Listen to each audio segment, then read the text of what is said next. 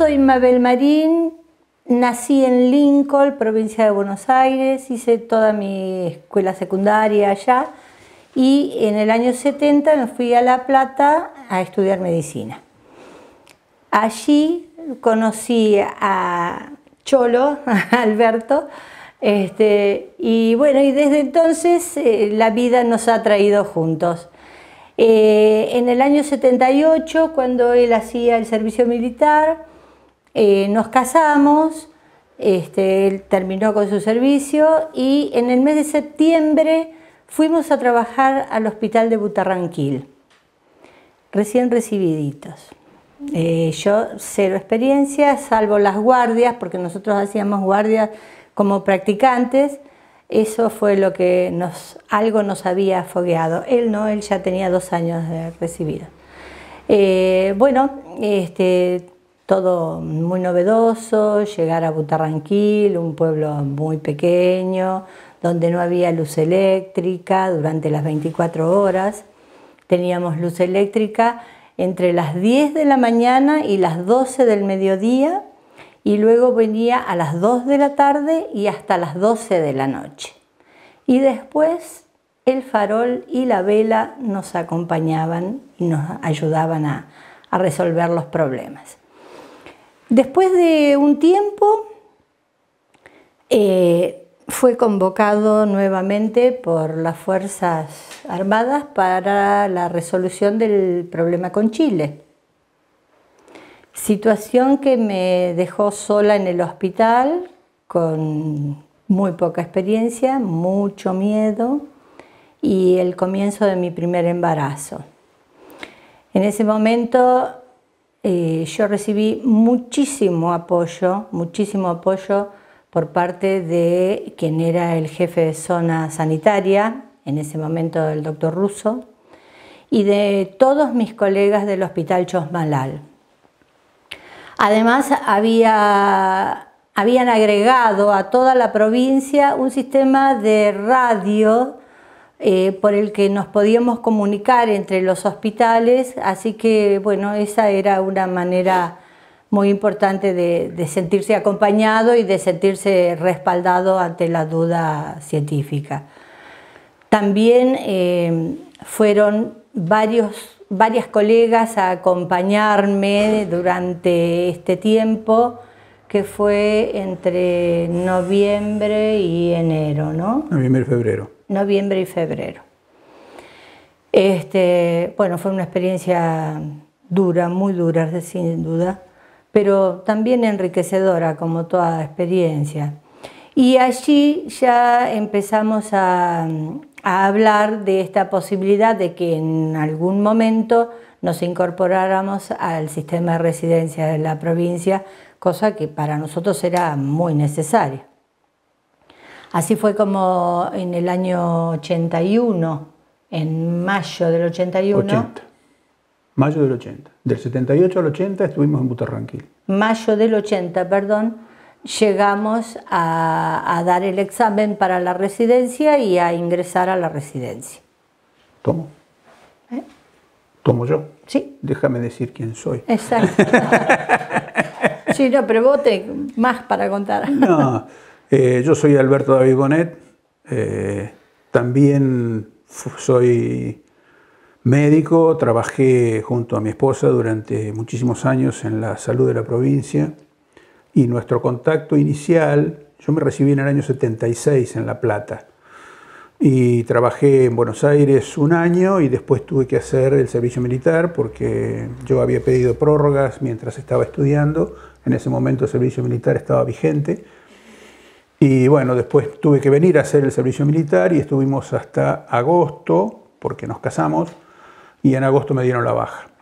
Cuando nos dan la baja, yo tenía un hermano que trabajaba en la subsecretaría de salud y nos consiguió una entrevista con Antonio García en ese momento, que era el subsecretario.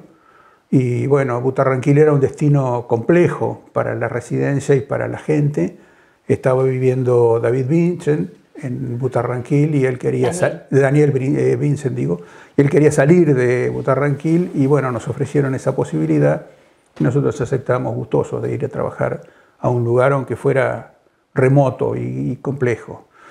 Eh, la experiencia es lo que decía Mabel, eh, que yo tenía dos años de haber trabajado como médico y ella estaba prácticamente recién recibida. Y bueno, eh, empezamos a trabajar y a conocer lo que era el funcionamiento del plan de salud y empezamos a imbuirnos un poco de toda la mística que rodeó a este plan de salud, porque realmente yo creo que el plan de salud tuvo la explosión que tuvo porque la mística de los que estábamos comprometidos con el plan de salud fue la que empujó esto y la que llevó esto a que fuera un plan tan exitoso, porque durante muchos años este, el plan perduró y fue desarrollándose. Después, bueno, las etapas fueron, algunas fueron un poco más complejas, pero digamos que la gran explosión saliendo de un panorama de salud de la provincia catastrófico, 114 eh, muertes infantiles por cada mil nacidos, era una cosa loquísima.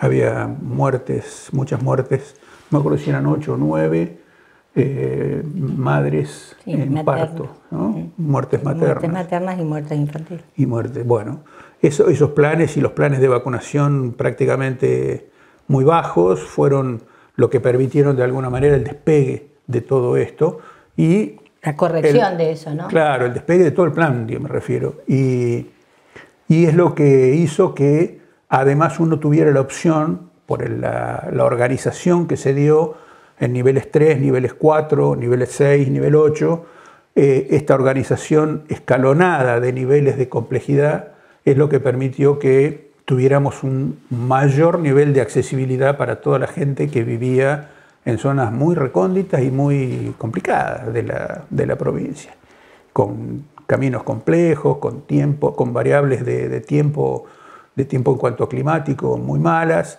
Eh, y bueno, y variables. Sin caminos también. Sí, había lugares donde ni, siquiera había caminos, había que ir a caballo. Pero bueno, de cualquier manera, esto fue todo una, una épica rodeado de una gran mística. Y esto es un poco lo que, lo que uno le queda dentro de la relación con la gente, del acercamiento con la gente, de la posibilidad de compartir con ellos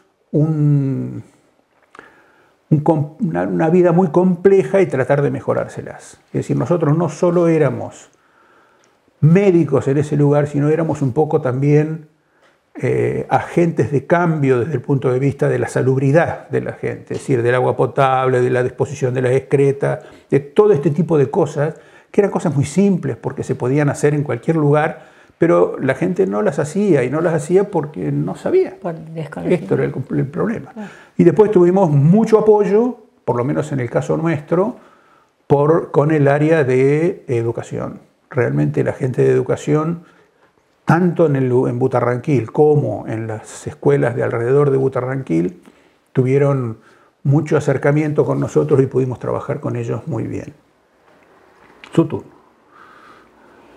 Bueno, llegó el momento de ingresar a la residencia y yo siempre pensaba, bueno, no, cuando vaya a Neuquén no voy a ver todas las cosas que se ven en el interior, se veían en el interior en ese momento, en cuanto a la vivienda, en cuanto a la cantidad de gente por habitaciones, etc.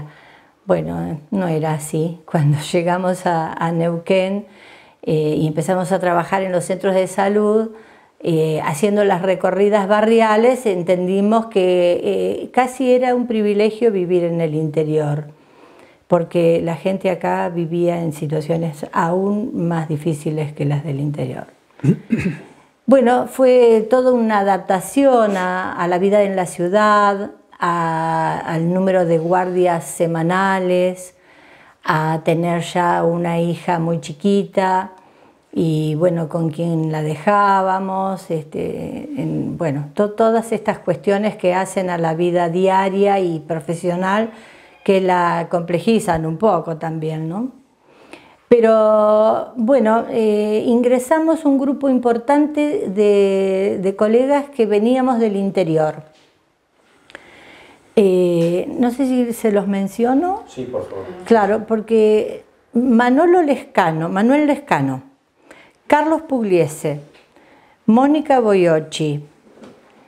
Nosotros dos. Nosotros dos. Eh, Luis Barrios. Eh, Luis manera. Manera sí venía del eh, interior. manera Sí. que. el Enchu- y ¿Y creo- quién más? Ya tenés seis. Seis. Sobre Éramos diez. Seis sobre diez. Entonces después tenemos a los Campodónicos, ocho, Ocho. Graciela Jordán Nueve. y ¿Y quién nos falta? Bueno, Bueno, pero ya- éramos ya me voy 6 a sobre acordar. 10 veníamos del interior. Veníamos que era una del cosa interior. donde uno podía aportar un poco la experiencia de lo que había vivido. Ya uno largaba ya medio sabiendo qué era lo que, Claro, ¿en lo que iba a necesitar y lo que iba a necesitar después. Porque el ingreso a la residencia implicaba sí o sí volver al interior. claro, Uno no podía hacer la residencia y me voy. Claro, el era una locura eso, no, no, era un compromiso de venir a hacer la residencia y volver a trabajar al interior con un bagaje de cosas muy importantes, porque realmente nuestros maestros en la residencia, nuestros instructores de residencia fueron excelentes. Era la época de oro del Hospital Neuquén. del Hospital Neuquén y Eh, del plan de salud. Uno tuvo opción de estar con gente sumamente capaz y con mucha vocación por enseñar. Realmente fue una experiencia riquísima la de la residencia. Uno aprendió mucho, no solamente lo médico, sino también lo que tenía que ver con la relación humana. Y esta, este plus que uno adquiere en un lugar con, ese, con esa orientación es lo que uno después le, le- le sirvió y permitió que mejorara todavía mucho más en el segundo tramo de, nuestra, de nuestro ejercicio de la profesión en el interior. ¿Qué experiencia vivencial fuerte traían desde el norte al ingresar a la, a la residencia? ¿Qué experiencia? Sí. ¿Qué caso? ¿Algún caso que, Sí. aunque sea anecdótico, pero así que grafique un poco cómo trabajaban, cómo vivían? La experiencia más importante que tuvimos en cuanto a, lo que nos generaba a nosotros, nosotros hacíamos partos, muchos partos, los partos, todos los partos que hacíamos, este, hacíamos el seguimiento de la embarazada en el interior, los agentes sanitarios, que eran una parte muy importante de trabajo en campo en ese momento, eran quienes detectaban quienes estaban embarazadas. Entonces uno empezaba en las visitas programadas, que nosotros hacíamos religiosamente a, a todos los lugares de la, que nos daban el área programática que nos correspondía al hospital, eh, y ahí, teniendo ya el aviso del agente sanitario, íbamos a, a charlar y a ver y a controlar esos embarazos y las traíamos a empollar, decíamos nosotros. Es decir, ellos cuando llegaban al octavo, noveno mes, más cerca del parto, lo más cerca posible del parto, porque el desarraigo de la gente para llevarla al hospital era una cuestión compleja. Eh, pero bueno, las traíamos al, al hospital y en el hospital teníamos partos hospitalarios que de esa manera eran mucho menos riesgosos. Eran pacientes que habían sido controlados, embarazos que no tenían inconveniente o los que tenían inconveniente tratados, eh, vacunados eh, y con todos los antecedentes ya sabidos de la multiparidad que tenía esa gente. En el interior, Eh, es 10 más. chicos, 8 chicos, 9 chicos, 12 chicos es una, una cosa, bastante frecuente. normal. No es más, venía la, la embarazada por ahí con algún Sí, sí. chiquito que no podía quedarse al cuidado de los hermanos o del padre, y entonces eran madre e hijo, y después se iba con dos. Y esa parte que les contaba ella, donde nos quedábamos sin luz, hemos hecho muchos partos a la luz de un farol. Y esos partos a la luz de un farol generaban, más allá del estrés propio de cualquier parto, cuando uno no tiene una gran experiencia en este tema, ni mucho menos, eh, era una cosa que uno quería terminar de resolver, nos generaba gran estrés. Era muy importante eso. Encima, en la primera época no teníamos ni siquiera la radio, no había nada, Así es decir, no había manera de La comunicarse. consulta era entre nosotros. Era, yo me miraba con ella y ella conmigo y, y Además- bueno, ya está. Se repartía la tarea, digamos. Uno se dedicaba al parto y el otro se dedicaba al niño. Recibí el niño. a recibirlo, a examinarlo, a hacerle todos los procedimientos correspondientes y, y bueno, esto Pero era así. eso era una, era una cosa muy estresante para nosotros y que nos buscábamos resolver en las capacitaciones que teníamos acá. Sí. Ahora, como experiencia, una cosa que a mí me parece muy interesante era la, la cuestión social que traía la llegada nuestra a ciertos Oh. lugares una vez por mes. Una vez por mes se iba a determinados lugares, en general muy lejanos, y eso era motivo de reunión de toda la, la comunidad. Entonces esto era también un evento social, de alguna manera, ¿no? Se encontraban, se intercambiaban cosas, se saludaban, eh, comían juntos, comíamos con ellos. Había que interactuar con ellos para poder tener inserción social. Eh, habría que tratar de acercarse a ellos, de hablar con ellos. Claro. No sé si de participar, porque en general la gente del interior tenía claro, por lo menos en ese momento, supongo que ahora debe ser muy parecido, que uno es un ave de paso. Porque la historia marcaba de que uno llega, se queda dos, tres años y se va. Te vas a otro hospital, te vas a otro lugar, no es que. Pero la gente medio se quedaba como que, bueno, sí, está bien, dame lo que necesito, ayúdame en lo que necesito, pero tengo claro que vos te vas a ir. Y esto hacía una, este, era una barrera, digamos, para terminar de profundizar esa relación social que era imprescindible para poder trabajar. Así bueno. como el día que llegabas a un determinado lugar era también un evento social, porque todo el mundo lleno el hospital, todo el mundo venía a ver quiénes eran los nuevos médicos y había que Para verte la cara, para Conocer. saber quién era. Sacaban turno para nada. Para, para saber Claro. quién era y qué hacías. Era bárbaro. Era muy bueno. Sí, sí, Este, era una experiencia muy interesante. pero de la residencia realmente uno buscaba eh, afianzar conocimientos y poder eh, encontrar la forma de vehiculizar esto del cambio más allá de, la de lo médico.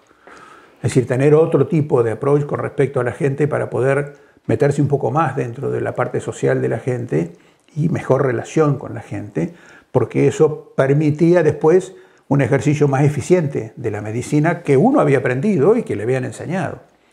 Y después, bueno, tratar de adquirir el 150% de todas las cosas que te daban cuando uno hacía las rotaciones por los distintos sectores hospitalarios de los servicios hospitalarios.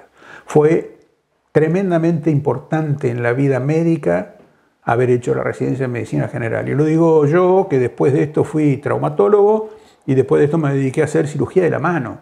Es decir, que yo fui achicando un espectro enorme, hacerlo cada vez más chico y ahora, y, bueno, entonces esto, sin embargo, esta mirada que me dejó la residencia, me hizo una diferencia muy importante después en el trato con mis pacientes, aún cuando me dediqué a hacer cirugía de la mano. Yo miraba al paciente como una globalidad, como una persona insertada dentro de una familia, insertada dentro de una sociedad. Y esto fue lo que nos enseñaron y pusieron Dios, mucho énfasis Se en la aprendió ahí. residencia. Esto nos lo enseñaron ahí. Claro. Es decir, teníamos gente que nos, nos- nos juntábamos este, y charlábamos sobre este tipo de cosas. Para mí fue una experiencia riquísima, riquísima. Sí, sí, la experiencia de la, de la residencia fue extraordinaria para personal y profesionalmente. Realmente Y después uno salía, digamos, con un nivel de, de conocimiento y de práctica médica quizá más alto que el que iba a necesitar después al a los niveles de resolución que tenían los hospitales nivel 3, que era donde íbamos a ir a trabajar. Los hospitales nivel 3 eran hospitales de resolución de patología básica, digamos. Es decir, lo que no se podía resolver ahí se mandaba al hospital De referencia. al hospital de referencia, que en el caso del norte era Chosmalal, eh, y cuando vos eh, ejercías una, una práctica que excedía a lo que a vos te habían reglamentado, digamos, entre comillas, pero que uno ya sabía que era lo que, hasta dónde debía llegar, medio como que decían, che, vos, ojo, esto no, esto me lo traes. Pero a veces las, las circunstancias hacían que uno no pudiera llevarlo, porque que había nieve, porque no había- se podía pasar, porque el camino no estaba transitable, porque, bueno, había cuestiones Claro. que, en las que uno tenía que actuar. Y para eso, el bagaje de conocimientos que habíamos este, adquirido en la residencia nos daba cierta holgura, digamos, para Claro. poder trabajar tranquilos. nunca antes de la residencia se hizo una anestesia corta, porque no lo sabíamos hacer. después de la residencia, la reducción de una luxación de hombro era una situación que podíamos resolver Sí. en el hospital nuestro. Y Sí. esto resuelve las cosas a mucha gente, por supuesto. En el caso mío, que a mí yo toda la vida me gustó la traumatología, hice medicina general por vocación, después de haber vivido lo que era ser médico general, eh, pero que mi orientación general a, la- a largo plazo seguía siendo la misma y bueno, después gracias a Dios lo pude cumplir. Eh, pero mm, reducciones de fracturas, de esas cosas, yo hacíamos. Yesos. Yesos hacíamos.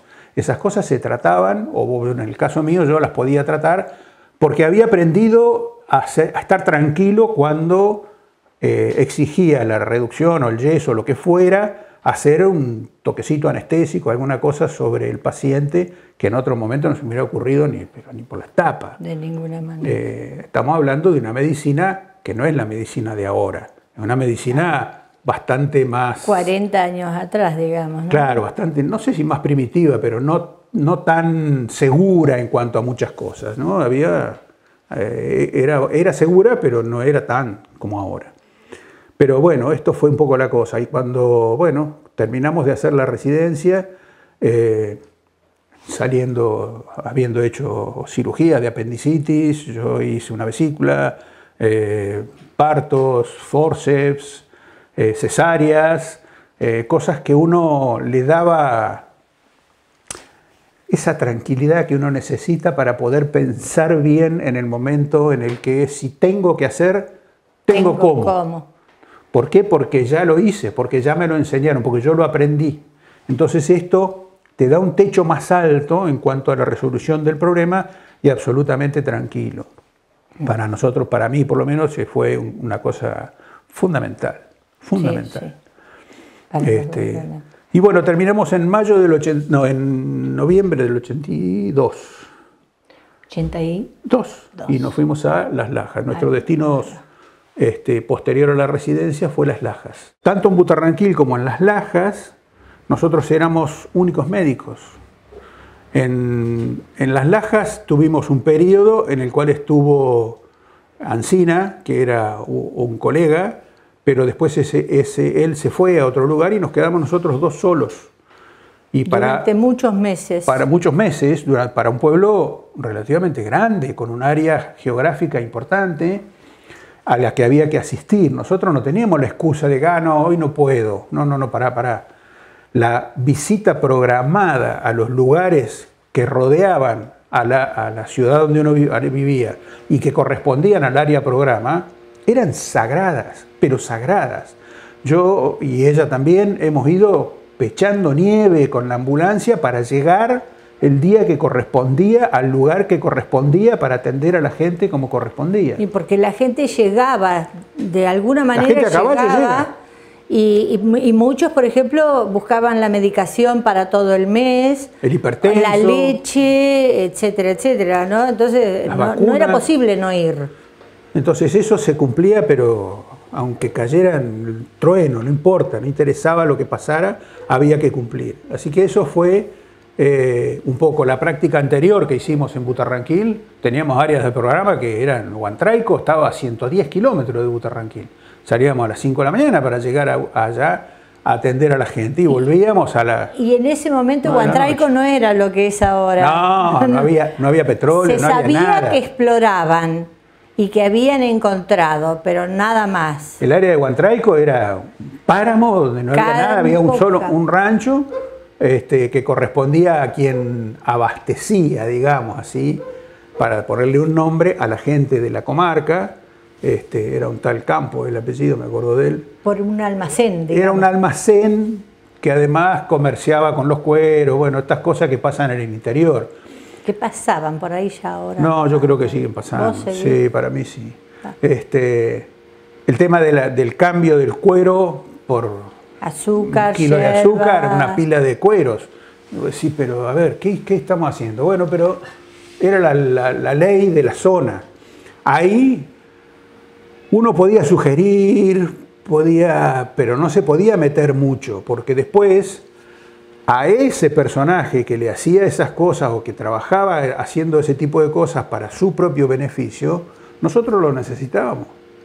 Si yo me ponía en contra de quien proveía los, las materias necesarias, las cosas necesarias para la gente, automáticamente tenía que cerrar la valija y me tenía que ir. Era un equilibrio muy delicado entre estar cerca de la gente y no pelearse demasiado, no levantar demasiado la perdiz con el tipo que estaba explotando a esa gente, porque eso pasa, y no, no sé cuánto ahora, pero calculo que debe seguir pasando. Eh, tan es así que nosotros en, en, Butarranquil, por ejemplo, ahora vuelvo otra vez a las lajas, en Butarranquil, por ejemplo, había dos lugares de aprovisionamiento. Uno que manejaba, además de las partes de, de comida y todo lo demás, el combustible, y otro que manejaba nada más que la parte de alimentación. El proveedor del hospital era el que manejaba el combustible. Nosotros no comprábamos ni una latita de paté de foie ahí, porque no queríamos mezclar todo lo que fuera las compras Familiar. hospitalarias con nuestras propias compras. Yo le compraba al otro, cosa que enojaba a este, pero bueno, hubo que explicárselo y explicarle por qué, pero no rompimos esa regla, porque nos parecía que romper esa regla era echarle un poco de nafta al fuego. Y creo que eso, entre ellos hay mucha puja en general, y si uno se vuelca por un lado y por el otro, o le permite a alguien decir, che, vos me estás comprando a mí, pero yo te doy por abajo, te, no sé, si estas cosas que pasan, había que cuidarse muchísimo. Esto era un aspecto muy importante. Cuando llegamos a Butarranquil, me acuerdo que Daniel Vincent, que era el que estaba en Butarranquil, nos dijo, mira, cuando vos empieces a conocer todos los, él hablaba de los, no sé si se puede decir, los puteríos de la, de la- del boliche y de la cosa y las intimidades de hacer la valija y andate. Porque en ese momento ya tomaste partido o la gente te hizo tomar partido. Y cuando tomes partido te vas a tener que ir. Así que fue un consejo muy sano eso. Nosotros teníamos que cumplimentar un formulario, que era el Oh. famoso formulario 7, Dios mío. con el cual nosotros justificábamos los gastos que había en el hospital, la cantidad de comida en relación a la cantidad de pacientes internados, los insumos, provisiones. Entonces, de golpe teníamos que comprar harina, pero para conseguir un carretel de hilo. Porque no estaba contemplado. Porque el hilo no estaba contemplado en el formulario 7 y no teníamos cómo resolverlo, o lo poníamos del bolsillo, obviamente. Sí. Entonces, este, había cosas a las cuales ajustarse y muy ajustadamente, porque si no, el próximo mes no teníamos este, la posibilidad de darle de comer a todos los pacientes internados que teníamos. Y no solamente eso, había que calcular los fardos de pasto para los caballos de la, de la gente que andaba haciendo la, La recorrida. recorrida, que eran los agentes sanitarios. ¿Cuántos fardos de pasto había que darle? ¿Qué sé yo? Claro. ¿Cómo puedo saber? Le tenía que preguntar a él, no había otra Obvio. manera. Pero había que confiar y había que ser muy finitos en que no, se, no te excedieran en lo que te estaban haciendo, porque por ahí vos perdías 20 fardos de pasto y en realidad el tipo compraba 10 y los otros 10 los compraba en cualquier otra cosa.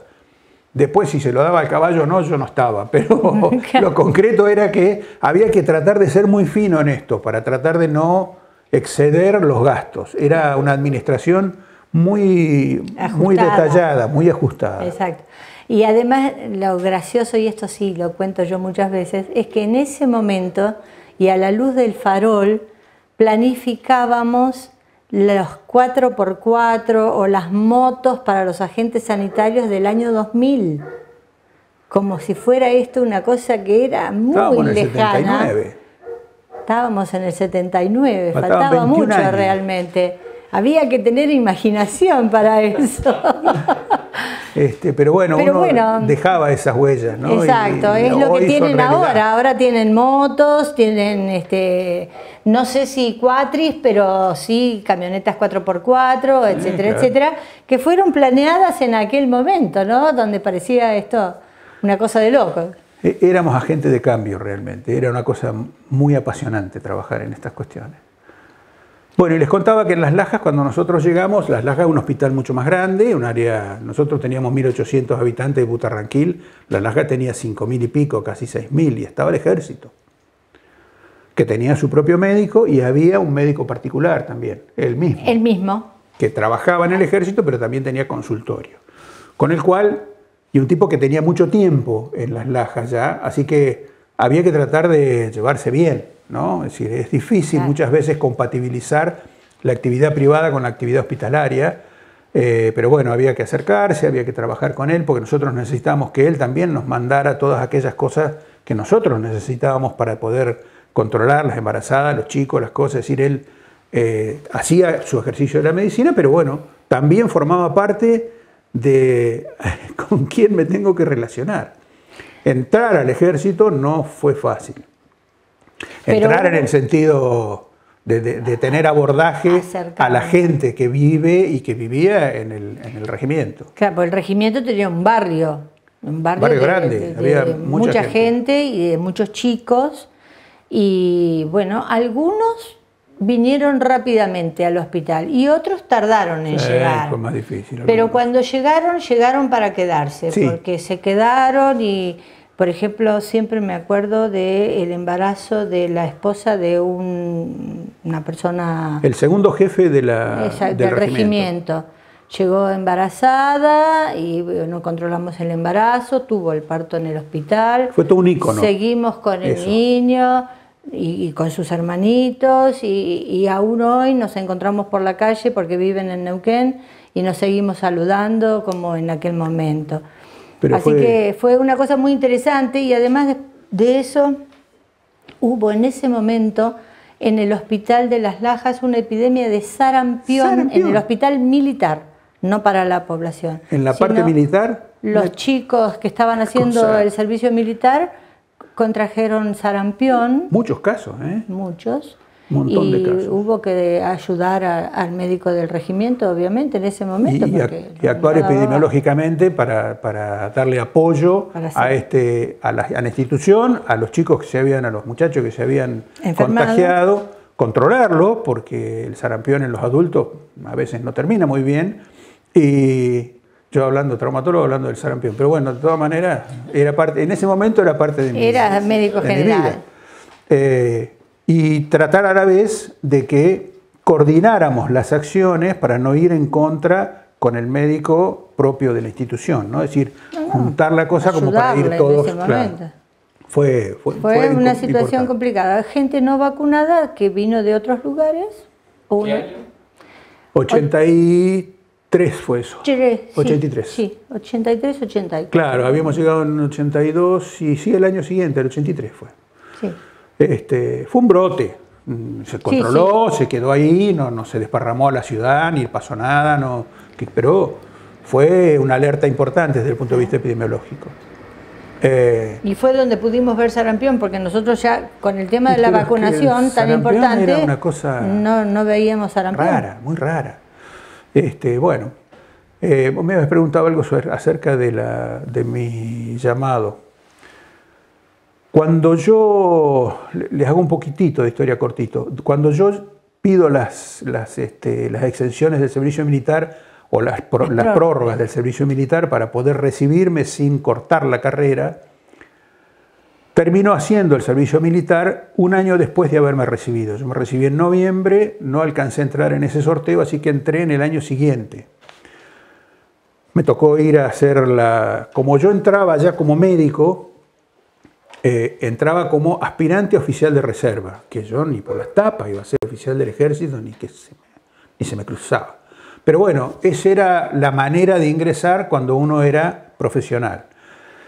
Nos tocaron dos meses de instrucción, ponele, en Comodoro Rivadavia, en el, donde está, hay un destacamento importante en Comodoro, que nos bailaron mal ahí porque, bueno, éramos el doctorcito, el, contadorcito, era una cosa dura. Claro, eran todos profesionales. Eh, todos profesionales éramos, ingenieros, contadores, este, qué sé yo, profesores, abogados, médicos era un menjunje de gente y éramos un montón, éramos como 60. Eh, bueno, termino eso y me vengo acá, me destinan otra vez acá a Neuquén y vengo a ser el médico de una, parte del ejército de lo que está acá en Neuquén, que es la compañía de comunicaciones, la CACOM 6, compañía de comunicaciones número 6, que era, digamos, la encargada de comunicarse del comando de la brigada. Acá en Neuquén hay una sede de un comando de brigada que corresponde a todo el área. Y la compañía de comunicaciones es quien eh, lo coordina, digamos, con no sé quién, con Buenos Aires, con no sé qué cosa. Bueno, se arma el lío con Chile, año 78, por el bendito Beagle. Nosotros habíamos empezado a trabajar en septiembre. Ingresamos en septiembre a trabajar en Butarranquil y el 12 o el 13, no me acuerdo ahora, bueno, los primeros días de noviembre recibo un hermoso telegrama en ese momento que me dice, señor, tiene que presentarse porque usted va a ser reincorporado por el lío este con Chile. Bueno, fue un drama, un drama, realmente fue un drama. Ella embarazada, nosotros dos únicos médicos de toda la zona, con muy poquito tiempo de, instalación en el lugar y yo teniendo que irme a no sé qué cosa, porque realmente en ese momento no tenía la más pálida idea de lo que iba a pasar con nosotros o conmigo. Bueno, me vengo a Neuquén, porque sí o sí había que estar en este tema. Me incorporaron el 16 de noviembre, me reincorporaron. Tuve que hacer, acá en la compañía de comunicaciones, tuve que hacer la reincorporación de dos clases anteriores. Así que hubo que hacer todos los exámenes físicos, vacunar, toda esta historia que tiene que ver con la reincorporación de todos los que se habían sido dados de baja. Y para el primero de diciembre, últimos días de noviembre, primeros días de diciembre, vamos a parar a la bajada de Weibur. No sé si ustedes, yendo para Luminé, si vos te vas por Zapala a Luminé, pasás por un lugar que se llama la Pampa del Oncoloán, que también es un lugar histórico porque ahí hubo problemas importantes con, locuras con alcohol y cosas, asesinatos y cosas. Eh, cuando llegas, cuando la, Pampa del Oncoloán se termina, hay una bajada, que es una bajada muy importante, que termina en el lago Aluminé es cortita, debe tener dos kilómetros, tres kilómetros. Bueno, en esa bajada estábamos nosotros. ¿Por qué?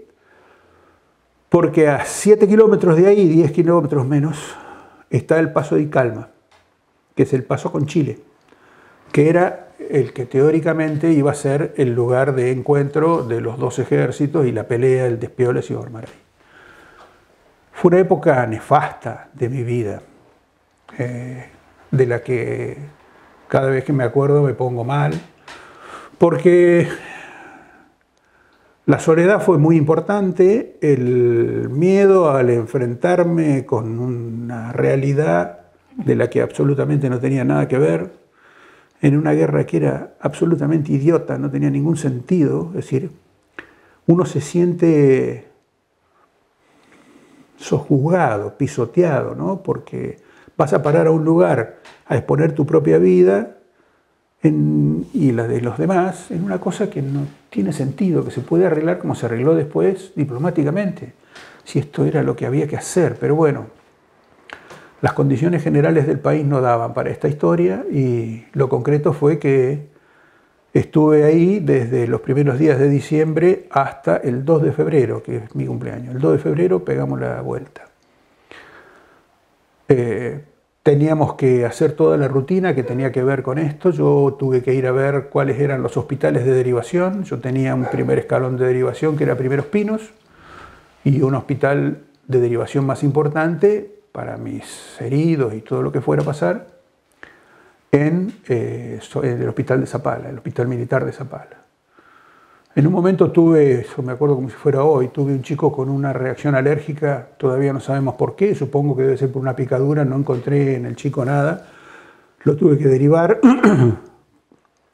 eh, brotado íntegramente a pesar de la medicación y todo lo demás. Llego al primer Ospino y cuando llego al primer Ospino, que era el lugar teórico de derivación mía, no había ni el loro, no había nadie. Había un, un gaucho que me decía, no, acá no, no, llévatelo a Zapala, no lo dejé acá. Le digo, pero yo no puedo llevarlo a Zapala. Mirá, dice, si no lo llevas a Zapala, déjalo acá, pero no hay ni médico acá. No hay quien lo atienda. Nadie lo va a atender. Bueno, cargar el gaucho de nuevo, pobre tipo, un soldadito, un chico de 18 años. Este, bueno, me lo llevé a Zapala. Bueno, cuando llegué a Zapala, sí, en el hospital de Zapala me lo recibieron y todo lo demás, pero Cuando me vuelvo, yo pido hablar con el jefe. Nosotros allá también, la compañía de comunicaciones era el nexo de unión desde el punto de vista de las comunicaciones del comando de brigada, que está acá en Neuquén, pero que se había trasladado allá, y el comando del tercer cuerpo, que era el de Córdoba, que había venido a parar a donde está la sede del comando acá en Neuquén. Así que yo tenía, como yo era che tordo, a mí no me vengan con subteniente, ni teniente, ni un pito, yo no, nada de esto. Eh, yo tenía acceso a casi todas estas cosas. Bueno, fui a hablar con el, jefe de la, de la compañía de comunicaciones y le dije, mire, estamos como Adán, pero ni la hoja tenemos siquiera. El día que acá se arme algún lío, nos morimos como perros, ¿eh? porque no hay manera de resolver nada de todo esto. Bueno, él no sé qué hizo, hizo un de pelota importante, no sé qué habrán arreglado, que no, por suerte, después no tuve yo que derivar pacientes, los pude atender allá, porque eran diarreas y cosas que tienen que ver con la vida en un... Y con el estrés que se vivía. No, no solamente el estrés, sino el hecho de comer en el piso, de estas cosas que eran... Sí, claro. Eh, pero bueno, fueron días muy complicados, con una carga de agresividad como jamás en mi vida había visto.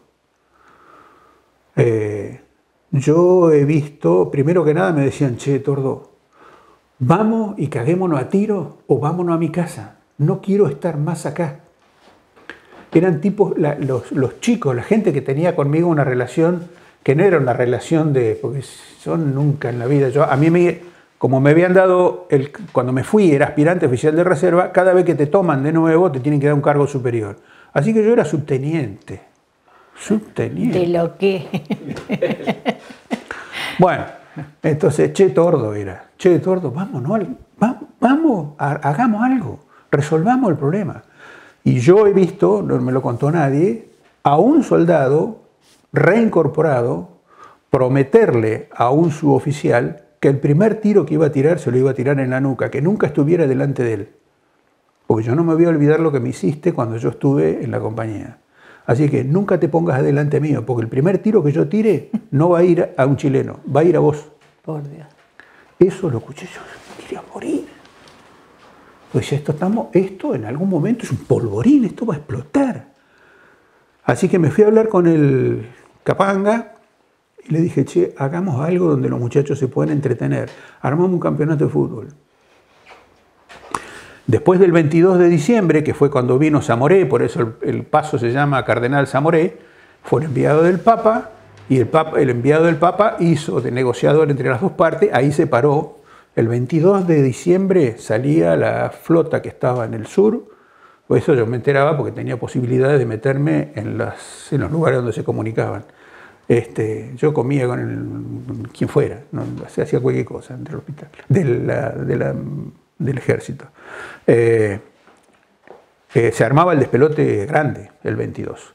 Había 35.000 hombres en Icalma. 35.000. Hubo explosiones, hubo... Por ahí te llamaban para que fueras a ver alguno y te decían, che, pisa donde piso yo porque está lleno de minas. Así que vos ibas caminando y donde el tipo levantaba la pata, vos ponías la pata tuya, porque yo no sé si 50 centímetros más allá no pisaba una mina y volaba la miércoles. Fue una experiencia nefasta, te digo. En mi vida me la voy a olvidar y la verdad que la recuerdo mal. No quiero repetirla. Espantosa. Después de ahí, del 22 de diciembre, en que yo había visto todas estas cosas, fui y hablé con el tipo, armamos un campeonato de fútbol, dividimos todo y entonces en el fútbol los, los, Colima empezaron a tener un poquito más de soltura, eran agresivos los partidos, pero no se lastimaban, pero vos lo veías que tenían otro tipo de actividad y se empezaron a descargar un poco y más o menos fue llevadero hasta que el 2 de febrero nos volvimos para Neuquén porque ya se había arreglado el despelote. Esa fue mi experiencia allá. Un espanto un espanto.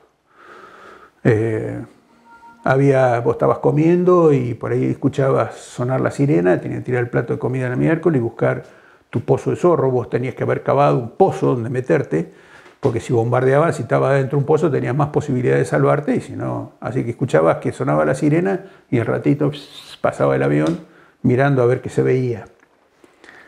Era, o a la madrugada, o a la, e- e- era muy, pero muy estresante, muy estresante, una Sí. experiencia espantosa. Realmente eh, debe ser una cosa, y eso que no tuvimos, no, no se tiró un solo tiro, no pasó nada, digamos, no, no- no hubo enfrentamiento.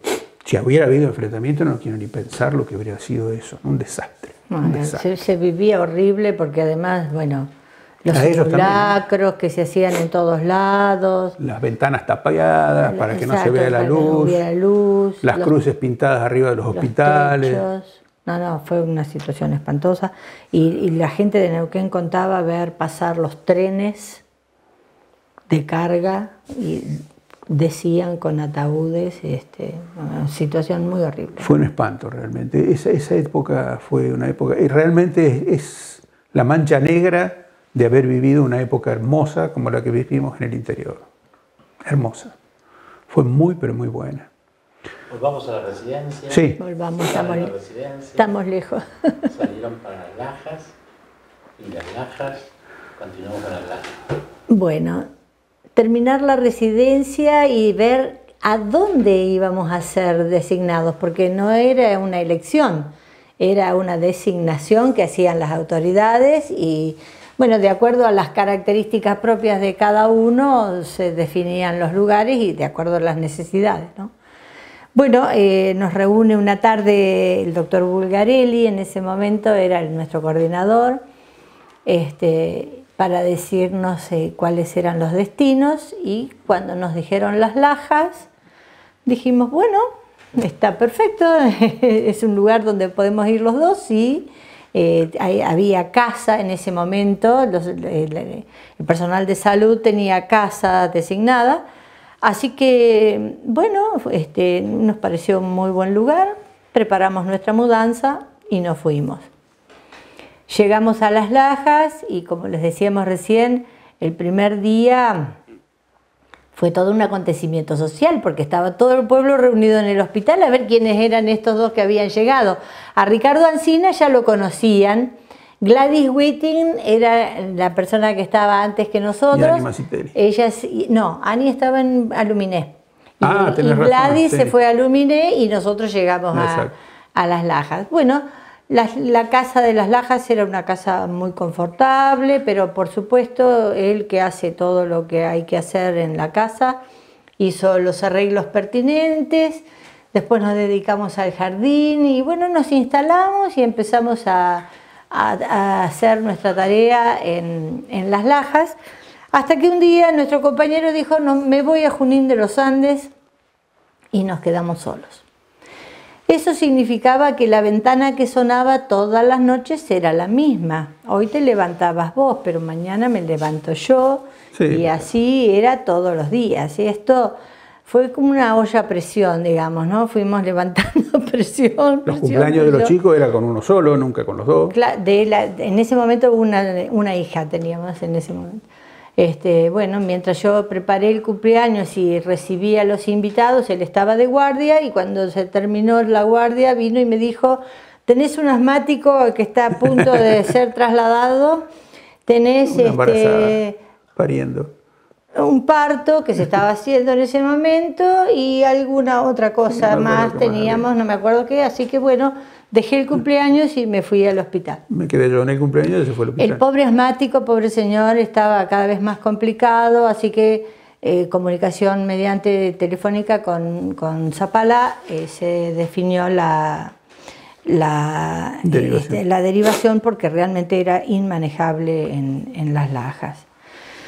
Pero hasta que se hizo esa derivación, yo estaba un rato con él, volví a casa, después volví al hospital, y en una de esas vueltas al hospital acababa de llegar una embarazada sin control, me acuerdo, este, en situación de trabajo de parto, así que por suerte fui porque pude hacer el parto, porque en ese momento iba a ver al asmático. Y en eso estábamos cuando cae la policía. Había nevado y teníamos 40 centímetros de nieve de acumulación, por supuesto, y de 17 grados bajo cero, una cosa así. Fue un invierno terrible ese. Sí. Este, llega la policía y me dice, mire, acaba de avisarnos que hay un muerto en un paraje, eh, como a 40 kilómetros más o menos, este, que bueno, hay que ir a buscarlo. Bueno, una ambulancia en Zapala y la otra ambulancia, por suerte teníamos dos y teníamos dos choferes. Este, busquemos al otro chofer, quién se queda y quién se va, porque era justo el cambio de la enfermería, 22 horas. Entonces, este, bueno, yo voy, yo me quedo, perfecto, se resolvió eso y yo me quedé con el recién nacido y todo esto mientras la ambulancia se fue. Una de la mañana y no volví a la ambulancia, a un lugar muy lejos, con mucha nieve, qué habrá pasado, qué no habrá pasado ya estaba en comunicación con la gente de la policía, a ver quién, quién salía en busca de, cuando llega la ambulancia. la ambulancia traía un cadáver de un señor que había sido degollado. Virtualmente degollado. Virtualmente y realmente. Y traía al, al, agresor. también, que eh, yo tenía que revisarlo porque iba a quedarse preso y el cadáver iba al forense a Zapala.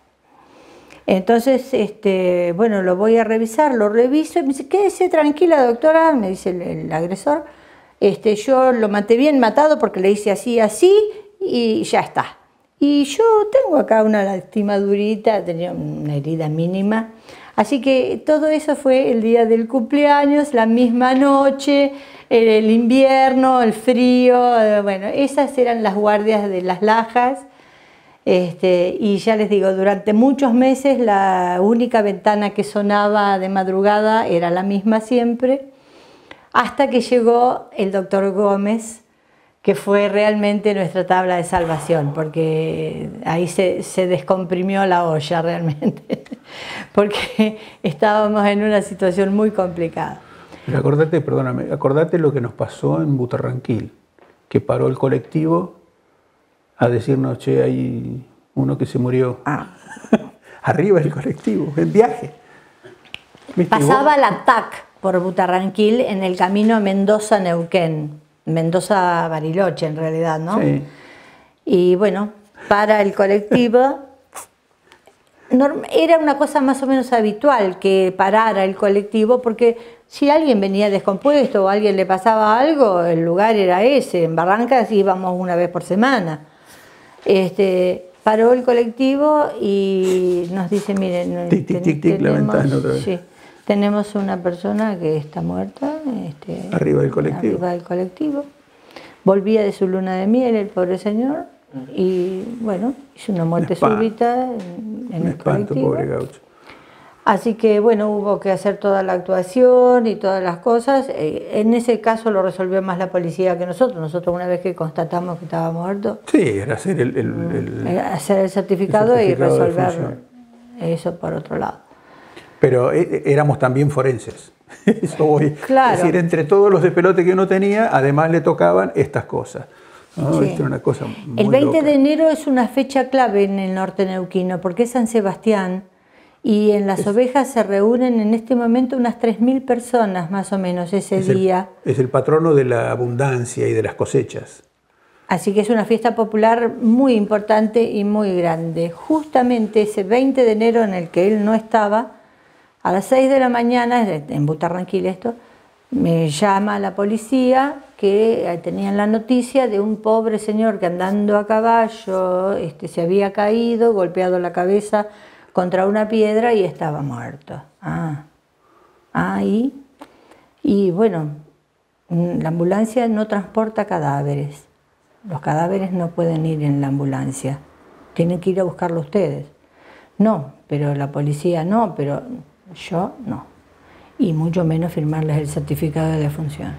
Mucho menos. No, pero imagínese, doctora, ¿cómo no me va a firmar el certificado? Yo tengo que, si no, mandarlo a Zapala. Por supuesto, el forense está en Zapala. Era miércoles, ese día bajábamos todos los miércoles a, Chosmalal a la reunión de, directores de hospital con el jefe de zona. Y Así que, y llevábamos todos los pacientes en consulta. Así que yo mm, me fui en la ambulancia a Chosmalal como corresponde y estando en la jefatura de zona sanitaria aparece la policía a pedirme que por favor le firmara el certificado de defunción. Por suerte en ese momento el jefe de zona era el doctor Elder Malcolm, no sé si lo han entrevistado. Malcolm me, defendió y me apoyó en, lo que decía y el cadáver marchó a Zapala. Pero el apriete que yo sufrí por parte de la policía no me lo voy a olvidar nunca y al señor Pérez tampoco me lo voy a olvidar.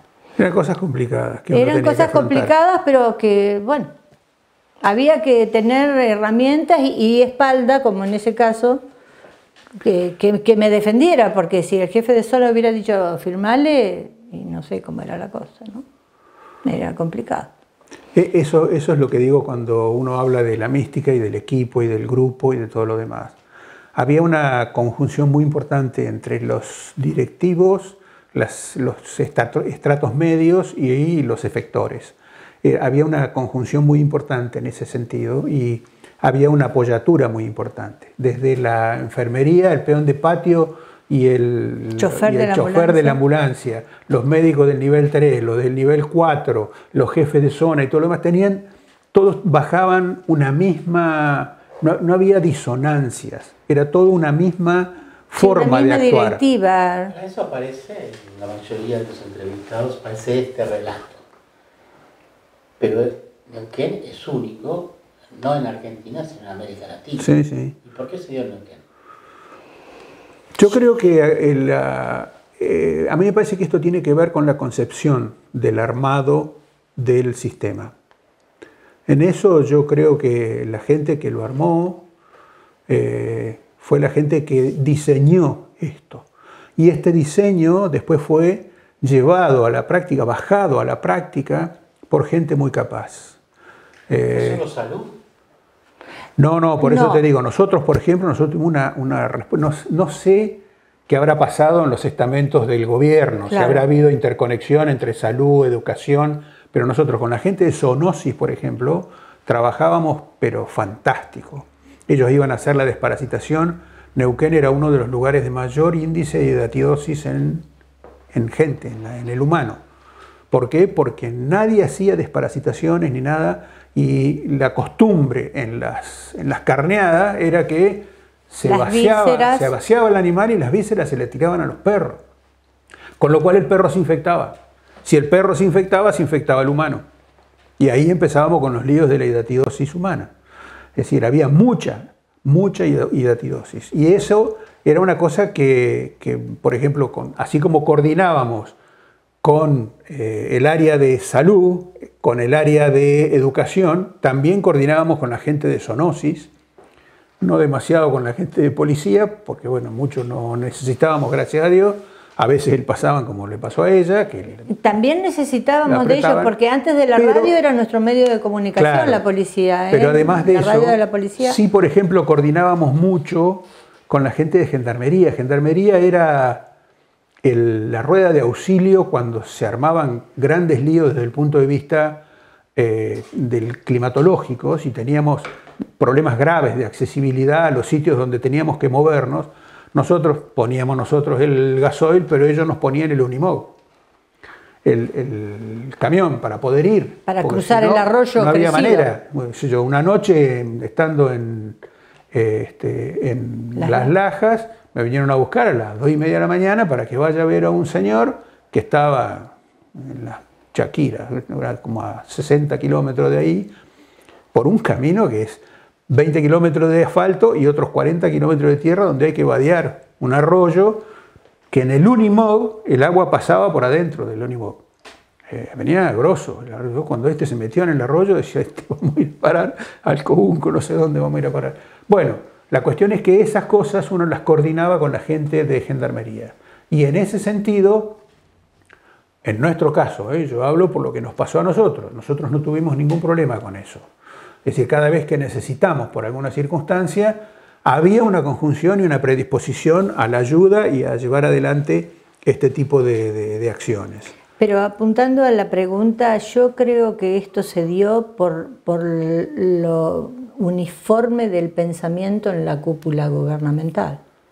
Sí, la decisión política fue muy que la decisión política fue tan, pero tan clara y tan unánime que no hubo resquicio ninguno y esto fue lo que hizo que esto fuera lo que es. ¿Esa decisión política de quién estaba? En ese momento era Felipe, Felipe Zapaz, claro. el que lo largó este plan. Ah, eh, y después en los estamentos de, subsecretaría, este, eh, la gente fue, el, subsecretario y su equipo fueron tipos que pudieron bajar muy bien la metodología de trabajo, la organización del trabajo, y esto se coordinó muy, pero muy bien en el año 74, estoy hablando, con el inicio de la residencia. Y la continuidad que tuvo eh, aún en momentos de la, del proceso. De la intervención. otra pregunta para continuar. ¿Por qué creen que, que el sistema no se desmanteló durante la dictadura militar sabiendo que, bueno, que la cuestión pública en ese momento era, representaba un peligro, era distinta. se desmanteló en otros lugares, por ejemplo, como en Río Negro. Pero yo creo que hubo dos, dos para mí, ¿eh? hubo dos mecanismos por los cuales en la provincia subsistió. El primero de los mecanismos fue porque la inercia que ya traía el sistema era muy buena. La formación de la gente estaba con mucho compromiso desde el punto de vista de la ejecución de esto. La decisión política inicial de esto, si bien no estaba en ese momento el equipo, tal cual habíamos dicho así en la charla nuestra, eh, el equipo también, muchos del equipo, la gran mayoría del equipo de salud seguía funcionando. Pero además de eso, a mí me parece que atrás del gobernador designado para estar acá, siempre estuvo la figura de Felipe. Claro, y, de los que realmente crearon el sistema de salud. Hablamos de Perrone, de la doctora Moreno. Toda esa gente estuvo siempre muy cerca del sistema de salud neuquino y calculo que asesorando a los que en ese momento gobernaban. Por lo cual esto se mantuvo como si nada pasara. Creo que esto fue la gran diferencia con Río Negro, porque Río Negro se había alargado antes que nosotros tenía más, más tiempo de ejecución, pero sin embargo eh, Neuquén tuvo esta, esta inercia que, acompañó también un poco eh, a, que esto terminara bien, a pesar de que, bueno, digamos que la onda nacional no iba para ese lado. De hecho, mucha gente de Río Negro, cuando Río Negro empieza a desmoronarse, digamos, se vino para Se vinieron acá.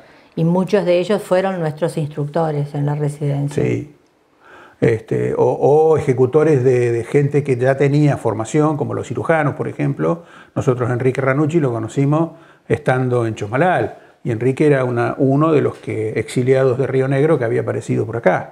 Es decir, había, había gente de Río Negro que tenía compromiso para, seguir adelante con el plan, pero que se encontró, que se quedó con el pincel en la mano. Claro, el desmantelamiento del nada, plan. Entonces vinieron a parar acá y acá fueron acogidos y fueron metidos dentro del sistema y pudieron continuar con su propia manera de pensar y su forma de ejecutar la medicina.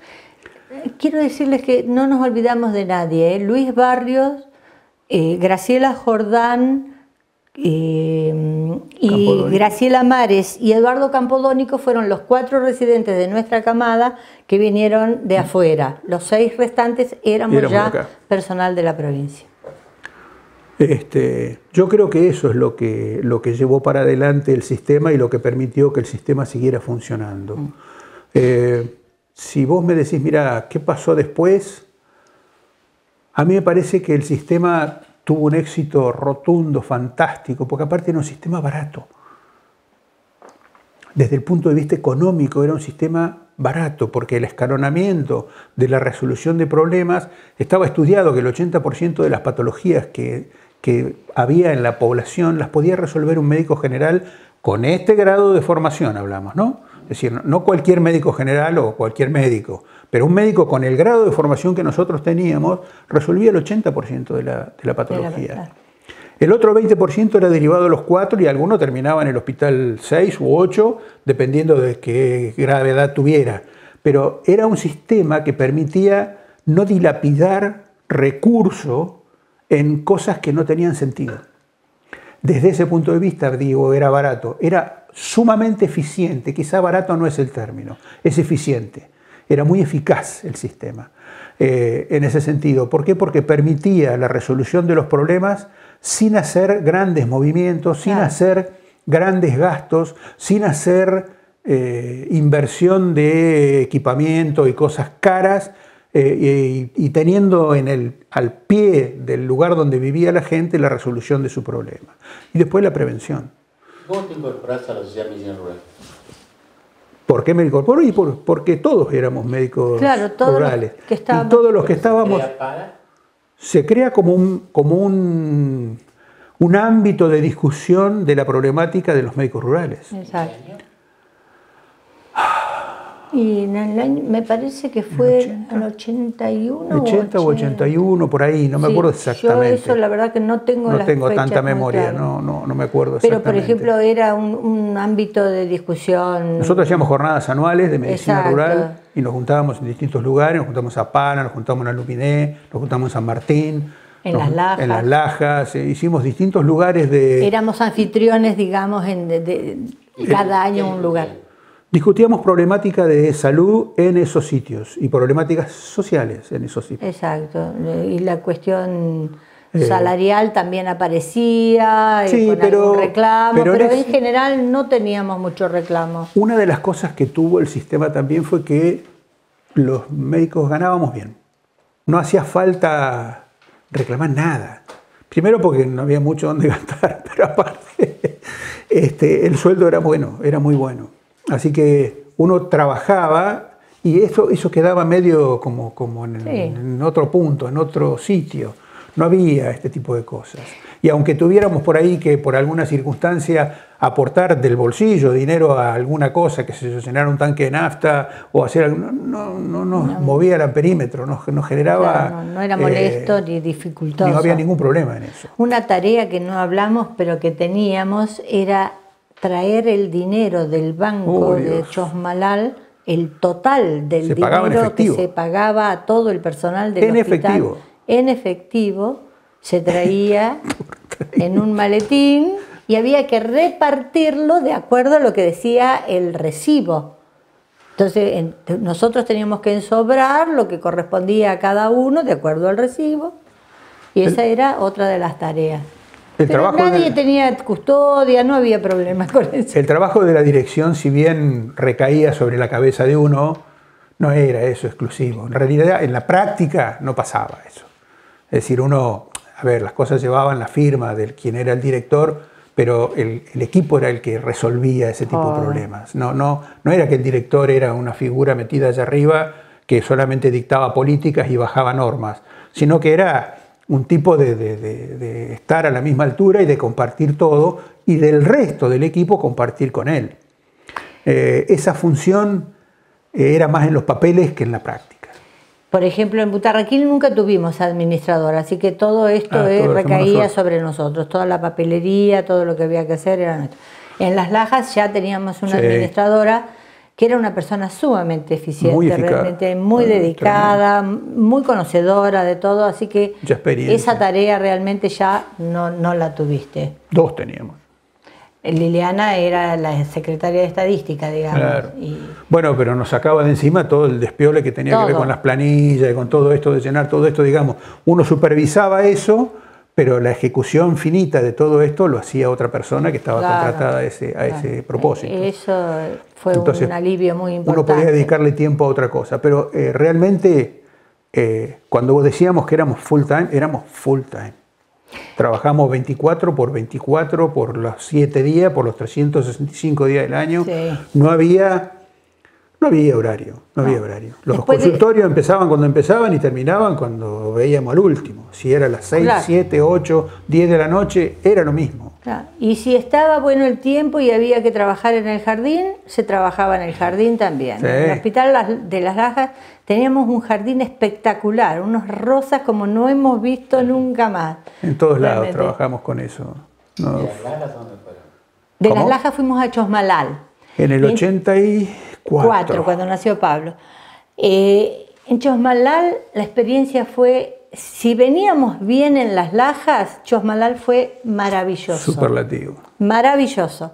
Vivíamos en un barrio de- que sigue estando, es una tira de ocho casas, Ocho. diez casas. 8 o 10, no me acuerdo. Sí, no me acuerdo, diez creo que eran eh, casas todas iguales, todas plan, de plan, y bueno, cuando se iba uno, venía el otro, así que ya sabía cuál era la casa que le tocaba. Y esa, ese barrio estaba de camino a, eh, a Tricao, Butarranquil. Butarranquil, Barrancas o, Chom- o Andacoyo, Tricao. Claro. Ahí eso nos pasaba casi por la esquina, digamos. Pero si pasaba la ambulancia y tocaba bocina, O nadie sirena. preguntaba quién tenía. Había gente de guardia activa, por supuesto, en Chomadal. Pero nadie preguntaba qué pasaba. Todo el mundo agarraba el auto y se iba por detrás de la ambulancia porque es que hacía falta. Algo podía llegar a pasar en el hospital donde uno podía ayudar. Y nos encontrábamos en el hospital por ahí cuatro, cinco, seis médicos, aparte de los que estaban de guardia. ¿Y con qué cargo van? Médicos. Médicos. Sí, allá después Manolo, en ese momento Manuel Descano es quien es el director y él organiza el servicio de guardia y vos fuiste el jefe de servicio de guardia. Sí. Pero los demás éramos médicos rasos. Yo en ese Pero- momento tenía un bebé de meses que había nacido en diciembre del, del 84, en el momento en el que nos estábamos mudando a Chosmalal, y lo pude amamantar durante nueve meses gracias a la ayuda de mis compañeros, que no tenían ningún inconveniente en cubrirme mientras este, estaba trabajando para ir a darle de mamar o a mi marido que me lo llevaba cuando estaba de guardia, por supuesto. El hecho de que nosotros fuéramos a trabajar a un hospital de nivel 4, que en hospital de nivel 4 se diferenciaba del otro porque tenía un cirujano, pediatra, ginecólogo y clínico. Clínico. Eran las cuatro especialidades que había en un nivel 4, además de los médicos generales.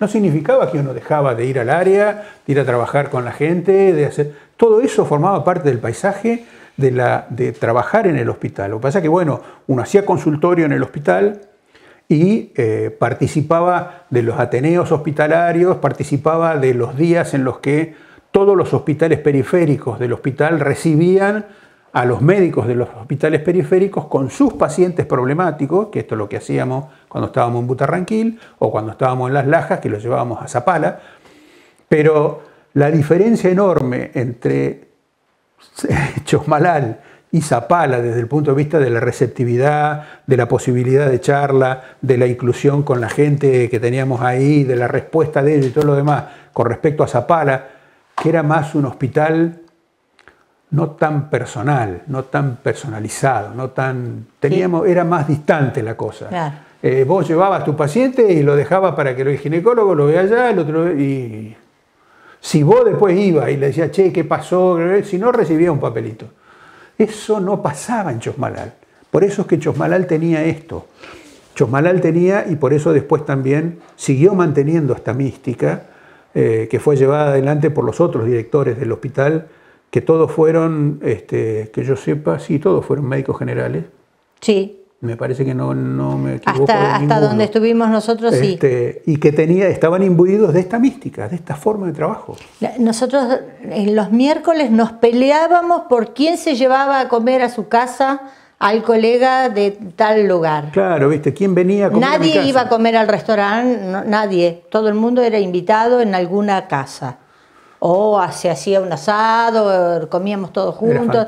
Pero era esa era la, la manera de trabajar en Chosmalal. En Zapala yo me acuerdo de haber estado sentada en el cordón de la vereda esperando que llegara la ambulancia junto con los pacientes. Nadie me había invitado a tomar un mate.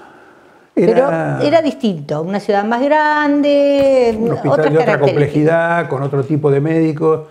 Eh, no había, en ese momento yo no tenía la residencia, en Zapala no estaba la No, residencia, ver, y no había tampoco muchos médicos generales, la mayoría eran, Eran especialistas, exacto. Entonces no, no estaban imbuidos de esta cosa que nosotros les contamos a ustedes. Claro. Era distinto, Ya, era ya no más había frío. tanta mística. Era más frío. ¿Había ciertas tensiones entre ustedes y, y los especialistas o no notaban esa, No, no, esa yo por lo menos entre no. ustedes?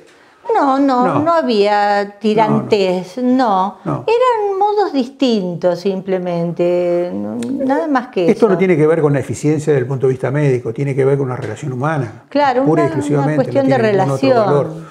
Pero digamos, eh, fue muy notoria la diferencia entre uno y otro, ¿no? Es decir, aquel, el norte neuquino siempre fue eh, medio... Muy acogedor, la, la- la- muy... la cosa más bonita desde el punto de vista del funcionamiento humano eh, que tuvo el plan de salud. El sur también era muy frío y el centro, que era el sur era San Martín de los Andes y sus, sus, eh, hospitales de, deriva- de derivación. No tenían esta cosa. El norte era Sí, muy sí, particular. era en este otra sentido. cosa. Muy particular. Eh, muy lindo. La verdad que fue una experiencia muy gratificante. Y después en Chosmalal, ya uno, eh, si bien mantenía, yo seguía, mi área de programa era Naunauco, eh, y yo iba a Naunauco una vez por semana, era así, Sí. una vez por semana. Naunauco y pues, Na- Chorriaca, Naunauco y Chorriaca era- eran lugares donde había, digamos, mucho más gente que lo que había en Guantraico. En Guantraico era poca gente. No, no, no había tanto trabajo, digamos. Al otro había que asistirlo más, más de cerca. Más complejo también, bastante más complejo. Eh, pero bueno, después trabajábamos en el hospital, nosotros éramos ayudantes de los cirujanos cuando había que operar, éramos ayudantes de las cosas de parto cuando había que hacer algún parto, si había alguna necesidad, hacer una cesárea, lo que fuera. Es decir, estamos disponibles para... Para todo. Eh, tenía un hijo compartido con una mamá de Trecabo Malal a la que le di sangre este, poscesárea y al cero- bebé la teta porque la mamá no podía en ese momento, así que bueno. porque ella es cero negativo. Y cero negativo en Chosmalal, Claro, no más difícil que pellizcar un vidrio, era una cosa muy complicada. Un grupo difícil y eh, entonces, bueno. Esto, pero bueno, ese tipo bom, de bom. cosas, eh, siempre se estaba dispuesto a lo que fuera. Lo, lo que hiciera falta, eso se hacía. Claro, e- el asunto. Éramos pocos, entonces, bueno, no podíamos decir, ay, yo no, porque mm, había que hacer. No, era satisfacer la necesidad del paciente primero y del sistema después. Tal cual. Era una cosa que iba todo, todo mezclado, no, no, no se podía disociar eso, no, no había manera de disociarlo. Y aparte nos sentíamos muy bien haciéndolo, muy bien. Después de ahí, este, Chosmalal fue una, fue una etapa muy rica también de eso porque había mucho, mucha in- interacción entre los médicos que vivíamos en ese barrio, digamos, ¿no? es decir, más, más allá de lo puramente laboral, había bastante conexión desde el punto de vista social, por la cercanía, por el laburo, por la Sí. forma de ser y por todo lo demás. Así que la verdad que fue una etapa fantástica de la vida de uno, fantástica. Extraordinaria. Muy, muy y buena. a partir de ahí se definió que él venía, volvíamos a Neuquén, él venía a hacer su residencia en traumatología y yo volví a hacer medicina de familia. Salimos del año 83, ¿no? Es decir, no, no nos pasamos del 83. Sí, sí, ya estamos en Este, el 83. en ese, el plan de salud empieza a permitir no ya solamente la capacitación en medicina general, sino la capacitación en las cuatro básicas. Entonces, e- era una capacitación plus, digamos, es decir, todos los que queríamos del interior venir a hacer alguna capacitación en otra área que no fuera la medicina general, habiendo pasado, cumplido con el periplo que correspondía, porque, viste, esto había pasado tres años ya de esto. Eh, así que bueno, ella se vino a hacer, eh, vos hiciste la parte de Medicina de medicina familia. familia, y yo me vine a hacer la residencia lineal de traumatología, que fue mi segunda residencia. Este, Pero seguían cobrando el sueldo, no de residencia. exacto. No, no, no. El sueldo que tenía ya, porque lo pasa por, por decreto, por, por, por nombramiento, ya tenías ese sueldo asignado. Así que yo el sueldo que cobraba era lo mismo. No, no Claro. cambió nada. No me cambió nada, absolutamente nada. No, no, no. Este, estos eran los lujos que se permitía un sistema de salud bien organizado. ¿no? Era un lujo, porque realmente ser un residente cobrando el sueldo de lo que cobraba uno que estuviera en el interior, nos sacaban el jugo grosso, te digo, no es que ah, me regalaban la guita, no. ¿viste? Nosotros, yo hacía tres guardias semanales, Tres guardias semanales. dos guardias de semana y uno de fin de semana, Y yo- todas las semanas. Yo tengo un récord de 30 partos en una guardia, para que tengan una idea de lo que se trabajaba. No existía el Hospital Buque Roldán y mucho menos el Heller. Helen, el- el- El único lugar era el Hospital Neuquén. Así que nosotros llegábamos a las 8 de la mañana, dejábamos el bolso en la habitación y con suerte volvíamos en algún momento, pero si no, mañana a las 5 de la tarde cuando nos volvíamos. Porque no era que vos terminabas la guardia y te ibas a tu casa. Vos ibas a la guardia, ibas al consultorio, hacías la sala, veías lo que tenía que hacer. Y después de ahí, a las 5 de la tarde te volvías a tu casa. Es decir, que trabajaba 24 más 8 corridas. Y Claro. de esas, Tres por semana. tres por semana. Uno de fin de semana y dos de, las, de días de semana. Y era, Ya. Y nadie decía, che, yo no voy a ir a, ¿a qué? había ¿Cómo? mucho trabajo. No, ah, no, vas podía. a ir a la guardia, No me digas. Cosa que después sí vimos, vimos con esta situación de la mística que les decimos, vimos cómo fue cambiando Sí. esta situación y de golpe era mucho más importante mi casa y mi familia que mi trabajo. No pongo en juicio nada de eso, era distinto. Nosotros teníamos, para nosotros lo primero era el hospital. Era cumplir con la función de médico. ¿no? Eso, Exacto. esto, a ver, es, como cada uno, su paradigma, su dogma, su, su axioma, Su modo, es decir, claro. su modo de vida. Eh, pero esto lo ve uno en los... Después yo tuve, de- ahora, si pues, en todo caso les cuento, en mi accionar de- en el campo privado, yo eh, manejé una residencia y, y en la residencia tuve opción de poder ver a la gente que entraba en la residencia con una, una forma de encarar la medicina que chocaba seriamente con lo que uno con la pensaba. anterior, con la antigua, es digamos. decir, eh, la medicina no era más que para, para ellos, hasta que se chocaron conmigo, que soy bastante duro, este, era una forma de, de ganar plata, no era otra cosa. Es decir, su, su medicina no pasaba por eh, el sentir de, la, de, que uno puede llegar a ser muy útil en la sociedad, sino simplemente era un medio de trabajo. Así como los docentes pasaron a tener eh, un gremio y una cosa y empe- y empezaron a tener ellos y van a trabajar por el sueldo, que es magro, malo, ya sabemos todo eso, pero digamos, eh, los chicos no venían con esta cuestión de sacrificar cosas de su propia vida en aras de manejar la medicina mejor para mis pacientes. No porque no tengan compromiso con lo que hacen, sino porque ven a la vida, a la, la profesión digo como un pedacito de la vida, no es la vida. Nosotros en ese, en ese tiempo, nuestra vida tenía 90% de profesionalidad y 10% de las otras cosas, por poner una cifra. Sí. Pero me refiero, las proporciones eran totalmente a la inversa de lo que uno ve ahora. Ah, no, yo guardia no quiero hacer. ¿Cómo guardia no quiero hacer? No estudié medicina.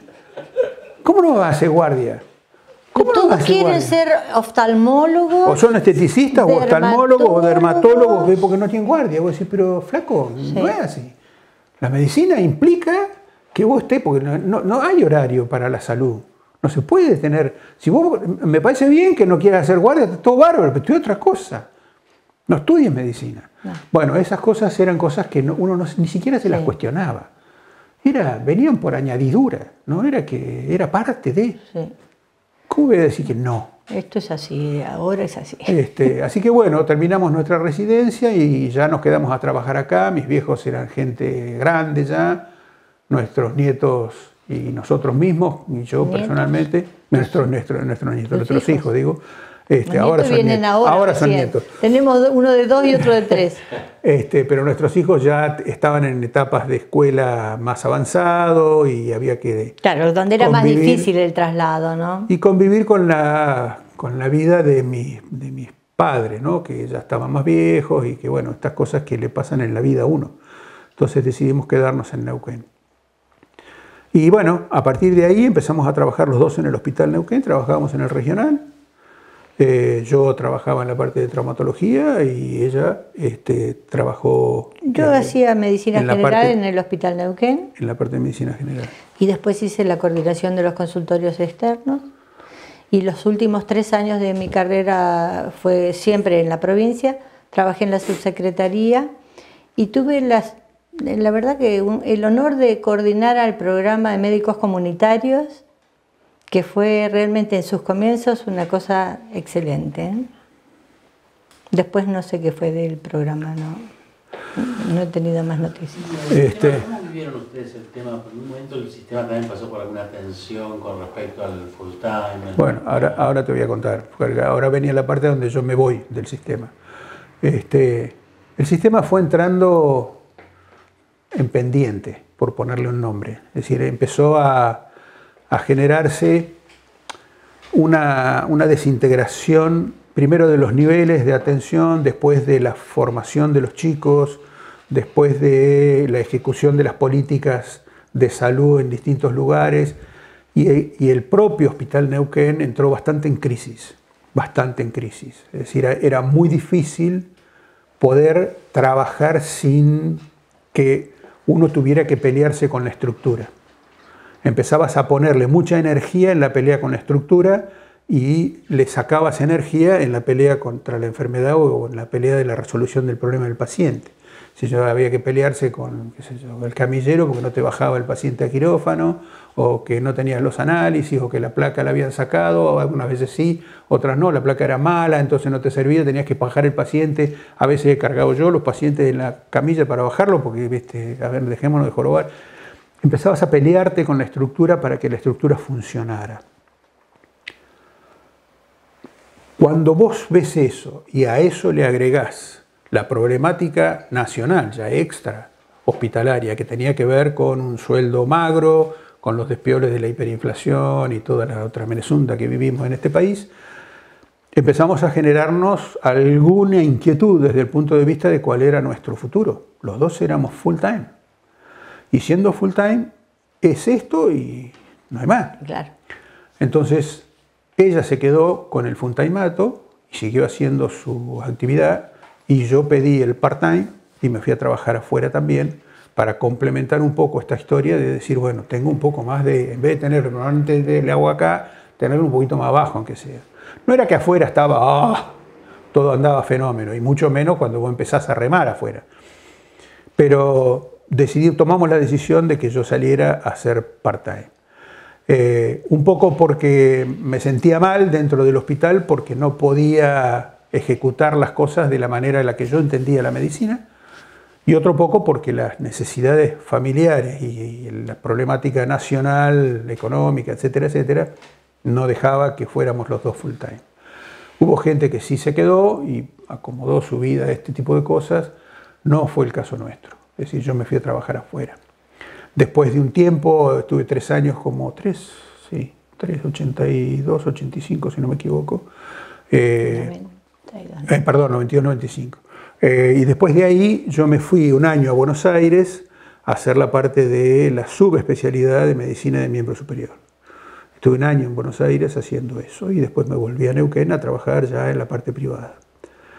Y a partir de ahí hice mi propia experiencia en la parte privada, después, bueno, generamos, eh, después de un tiempo largo, eh, allá por el 2001, cuando todo estallaba en pedazos, abrimos una consultorios externos con otro grupo de colegas a trabajar en traumatología, éramos cinco traumatólogos, y bueno, después terminamos generando una estructura más grande, que hoy es traumatología del Comahue, y ahí donde después de trabajar mucho con la universidad de acá, del Comahue, eh, pude sacar y armar eh, la residencia en traumatología.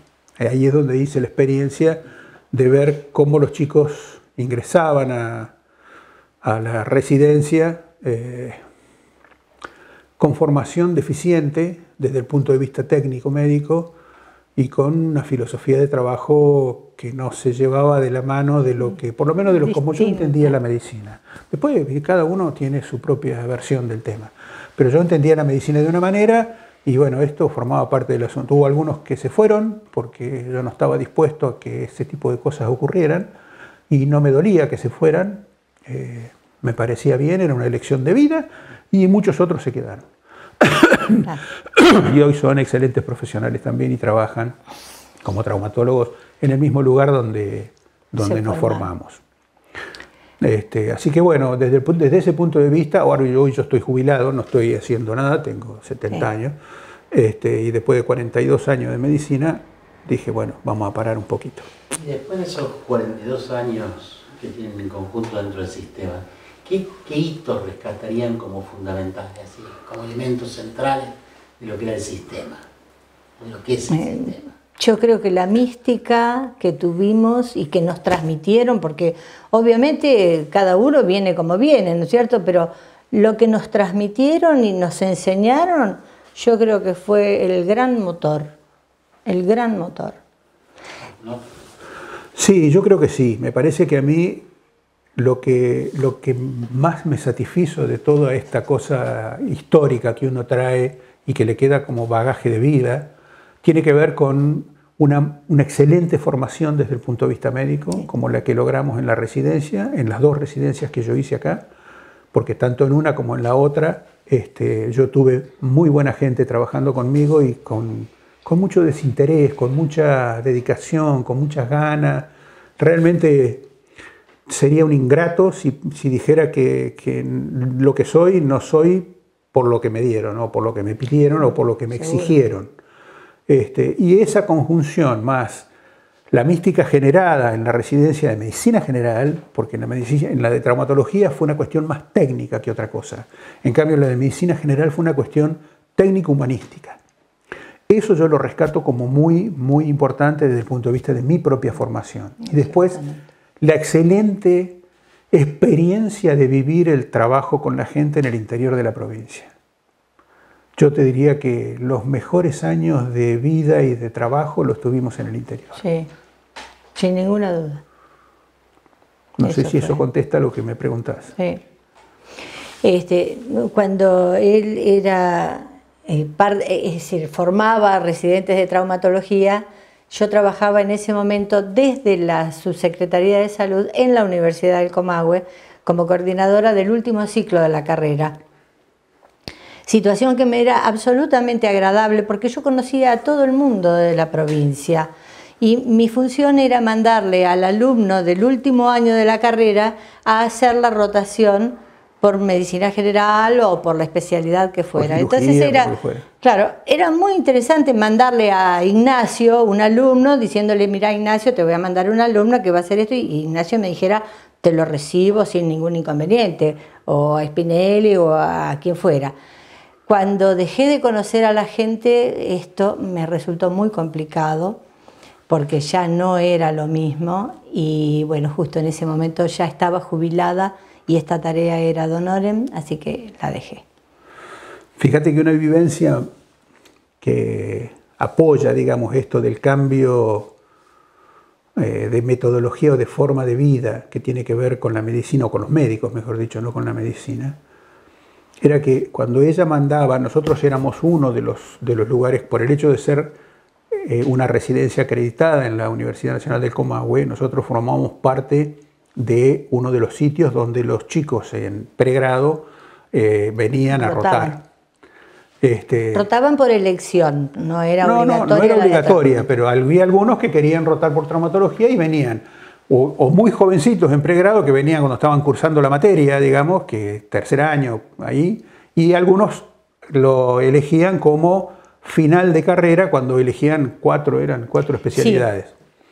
Este, y una de las cosas que más me llamaba la atención era que cuando ellos llegaban, yo los recibía, me sentaba con ellos a charlar y les mostraba cuál era el programa que iban a tener que hacer, cuáles eran las clases que iban a tener que dar, cuáles eran los horarios que iban a tener que cumplir. Y uno veía como los tipos iban agrandando los ojos. Y decía, pero ¿cómo? Yo tengo que venir todos los... ¿Cómo va a venir? ¿Te tenés que venir todos los días? ¿Cómo no va a venir todos los días? Y tengo que preparar clases, y por supuesto. ¿Y quién me va a tomar clases? Yo y la gente que estamos trabajando acá. Vos vas a venir en un Ateneo de los que nosotros hacemos y después del Ateneo que compartiste expondrás tu clase sobre el tema que, que corresponda de acuerdo a la, a la programación que es esta. Miércoles, los tipos lo veían medio como diciendo, este sale de la... Está todo loco, está loco, está pidiendo cosas que no tienen sentido. Pero bueno, mm, entendieron eso y yo creo que eso fue, ojalá les haya, le haya sido a ellos este, una cosa beneficiosa. La verdad que no lo sé si lo fue o no. A algunos tuve opción de, de conocerlos después porque vinieron a hacer la residencia allá y bueno, se acuerdan bien de esto. Pero calculo que otros no se deben acordar muy bien de mí. ¿Volverían a hacer la experiencia? Sí, Absolutamente. absolutamente. Pero en las condiciones de aquella época. Sí, ¿eh? no, no hoy, ¿eh? Hoy no. El paradigma médico yo creo que ha cambiado mucho y va todo demasiado técnico, todo se hace por máquina. todo se- Exacto. el humanismo medio que se va yendo al demonio. Y esto es muy malo, Mm. muy malo. Primero hacete todos estos estudios y después te miro. Pero no me vas a revisar. Miro los estudios Miro los estudios. y si hace falta, por ahí a lo mejor te pongo una mano encima. Está bien, ha habido Sí, otras situaciones que han llevado a esto también. ¿no? Ha habido situaciones de, qué sé yo, viste, cuando vos revisas, pero también depende cómo te pares. Yo estoy convencido que esto también es cómo vos te pares, ¿eh? Porque eh, yo no sé, yo toda mi vida he visto miles de pacientes, a todos los he revisado, a todos los he tocado, a todos les he pedido que se saquen por ahí la ropa, a todos, y nunca jamás en la vida tuve un problema, nunca. Y, hay, y ojo, tampoco podemos generalizar, hay profesionales Sí. que día siguen trabajando como trabajan. Sí, sí. Sí, sí, sí, sí, hay, hay sí, gente sí. que sí, hay gente que sí. Sí, por suerte y sí, porque si no realmente sería muy difícil a, a- a quien veo, ¿no? Está complicado. Pero, Eh, pero sí, repetiría, ninguna duda que lo repetiría. sí, la sí. vida en el interior yo la volvería a repetir, Y la residencia de medicina general la volvería a hacer de nuevo. También. Sí, señor. y si alguien me pregunta si hago, sí. Sí, hacela. Sin ninguna Hacela. duda, La visión, importante. la visión general de la gente y del cuerpo, de la salud, de la- te lo da la medicina general, no te lo da otra, otra especialidad. Cierto, vos siempre tuviste un plus con respecto de tus colegas lineales, digamos, por esta visión holística, digamos, ¿no? No, y porque uno puede mirar al paciente entero, es decir, yo puedo mirar al paciente si es un diabético, si es un hipertenso, si es un, qué sé yo, no sé, si es un Renal, renal, si es un cardíaco, si es un... Yo lo puedo mirar, es decir, puedo ver cómo se, se puede articular lo que le está pasando con alguna otra cosa que también el paciente tiene, porque somos un todo, no somos un pedazo. Yo no puedo mirar los huesos del paciente, es una locura eso.